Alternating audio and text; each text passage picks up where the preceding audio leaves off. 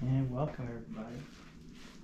Haven't done one of these really before, but with the GM 4000, definitely need to do some type of presentation. So I had the CEM 120 prior. Uh, that's this tripod is the 360 tri- Tri-Pier for the, the CEM 120. And I always like doing size differences. The CEM 120 is a pretty big beast. Here's that next to the GM 4000. Of course, the CEM 120 mount is pretty manageable. It's probably about 60-ish pounds. Whereas this one, that dolly is a 300 pound lifting dolly. And that's how I got it up on here. This mount's probably a little over 200 pounds. Uh, it's going to be carrying the CDK 24 inch PlaneWave. Uh, currently sent the base or the Tri-Pier tripod, the pier adapter, uh, out to ATS. That's the pier manufacturer company. I'm gonna get them to build one of these Tri-Piers, the 12 inch size one though, the outside diameter, so it's gonna be a lot bigger. And I wanna use that in the backyard. Uh, with the far future thinking that I may make it more mobile. So I don't want to sit here in the backyard. Uh, maybe if I go to one of the star parties that's like a week long, I could throw all this stuff in the truck with like a crane and take it out to those places. A little bit different, and these would probably be instruments in a professional observatory but I ended up getting the CDK24 for a good price. And then this was actually the first astronomy piece that I bought brand new. Uh, that ran about 32,000. But everything's beefier. Look at these, look at that shaft. This is the 4000 and then this is the CEM 120. Uh, you could fit this inside there basically. but this big old thing going to carry six uh, counterweights.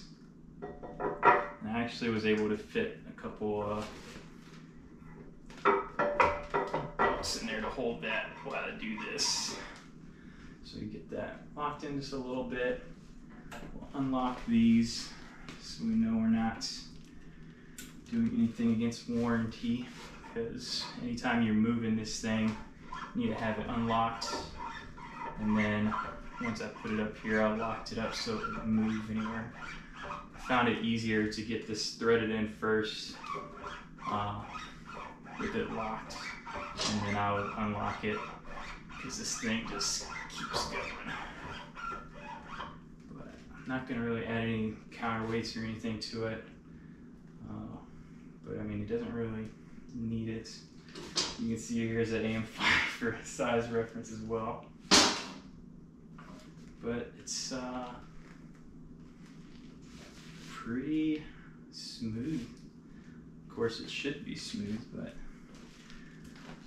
uh, we're gonna go ahead and move this a little.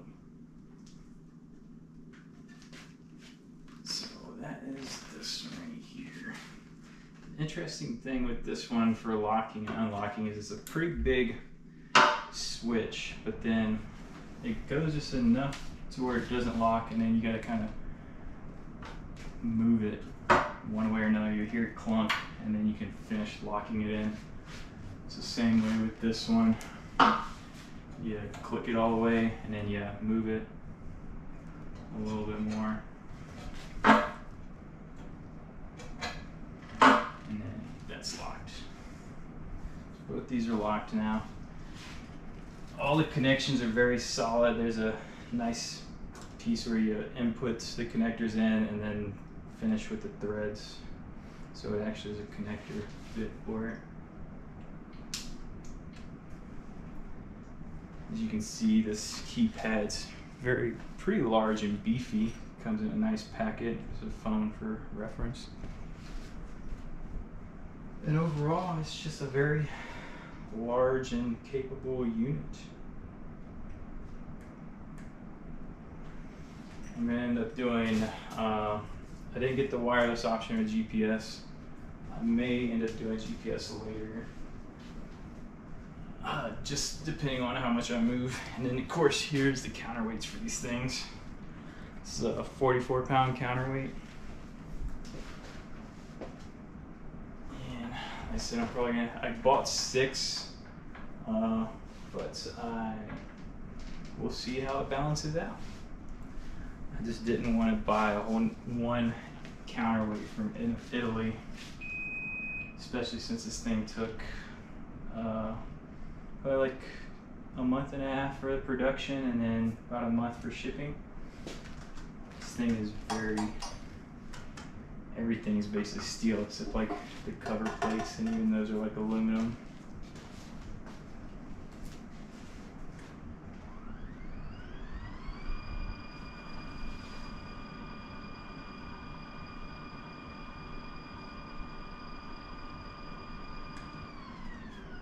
I'd say that's the fastest it slews. It's supposed to be slower than the 200 and a 3 or the 2000 and a 3000.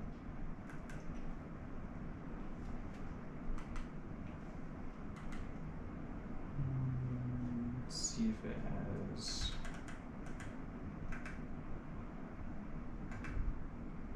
Let's see. I don't think it will.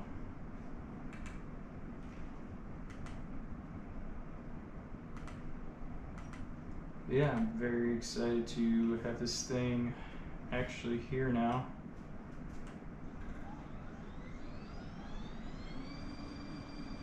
It's got like a startup to it and then it starts ramping up.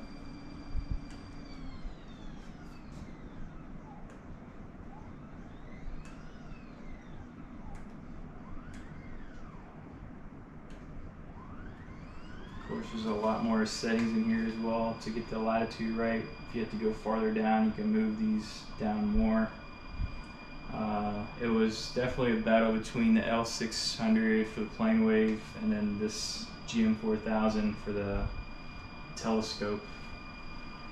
I ended up going with this just more so because uh, it's related to like the equatorial type mount instead of like the L mount. It's uh, a lot different. Uh, some people will say that since you have them up in Illinois, that it's probably better to have them.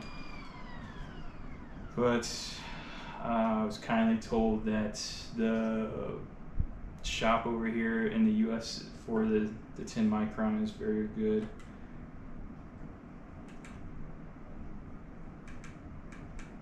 Other than that, I mean, it's pretty easy to kind of see the rest of the stuff online as far as the capabilities for this, but it's what 300 300 pounds capable. Uh, it's got the pass through here. Even got a nice rubber boot here, so it keeps everything out if you don't have anything. But I'll be running uh, USB 3.0 and a power cable through here. Uh, then you just take off this one of these pieces right here and then just slide it in. And then I do have big dovetail. So this is the dovetail clamp for the CDK24 and that'll go right on there. Wires will come up underneath. It's got like the three locking pins for that. I may look at doing something else because I don't know as far as one just these three little pin rings holding the it's like I think the the telescope's about 230 pounds as well. It's about the same as this.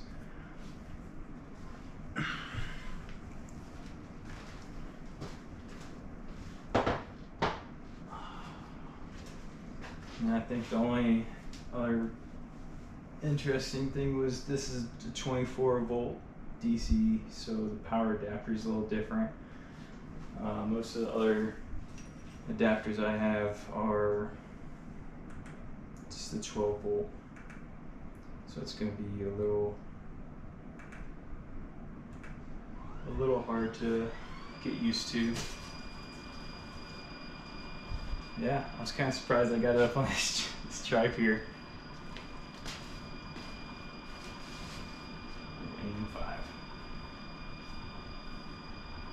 Fit the AM5 in the bottom here. This M5 carries the 100 millimeter Lunt in the back over there. I do both solar and uh, deep sky for that one. It's the modular one I can change. And then I have the CDK 12 and a half that goes with the CEM 120. Yeah, uh, I made a thread on Cloudy Nights as far as just my journey into going into this. Uh, like I said, the next step is just waiting for the pier. That should be coming in the end of September, as well as the end of September. I have I can't remember the company, but they're in Arizona as well. I think in Tucson maybe. Uh, supposed to come over here and look at building a roll-off roof uh, for the backyard, and that'll really just be for this big one. Uh, as I usually take the 12 and a half with me everywhere like in the field to different parks for our star parties. Uh, yeah, it's not really anything else for here. I mean, it's got uh, external switch in here, LAN cables, GPS, guider, auxiliary, as well as RS-232. Like I said, I'm going to learn how to do the Ethernet cable that way. Uh, this thing says battery, so there might be a another battery in here, which would be interesting to see. But just the, the finish of this mount is so much different than any other thing I've seen or like messed with before. I think uh, Roro did a GM1000. He just was feeling going everywhere. But I mean, this is just a very beefy and amazing mount. That's really all I got for this video. Thanks for stopping by if you did.